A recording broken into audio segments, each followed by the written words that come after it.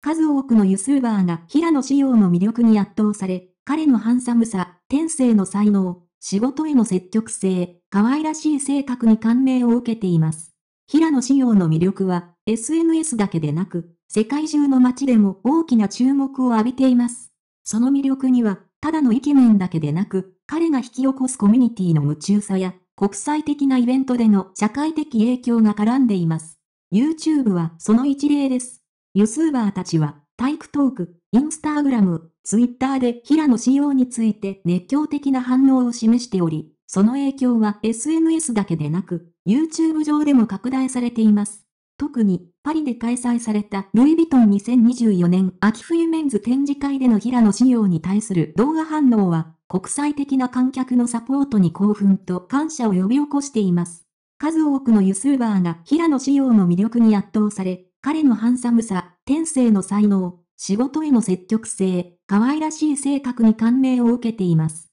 彼は常にオープンマインドであり、セレブ病に侵されていないにもかかわらず、本物のスターのオーラをまとっています。YouTube チャンネルのボーキャンデイクが、平野志陽のインスタグラム投稿についての動画で視聴者を魅了しています。視聴者を、いいね、やコメント、購読に奨励し、注目の写真の品質に対する肯定的なコメントが飛び交っています。これにより、平野志陽のコンテンツがますます多くのファンに届くことでしょう。しかし、平野志陽の魅力は SNS だけに止まりません。彼が登場すると、実際の生活でも注目が集まります。例えば、フランスで平野志陽と隣に立った時の興奮をタイのファシーブックアカウントで共有したファンがいます。彼は日本の有名人に会えて喜びに満ちており、平野志陽の笑顔やオーラに触れることができたことを称賛しています。さらに、平野志陽が登場した日、パリの街では彼の美しさがまるでおとぎ話から抜け出てきたかのようだと噂され、アジア人女性の美しさに関する会話が街中に広がりました。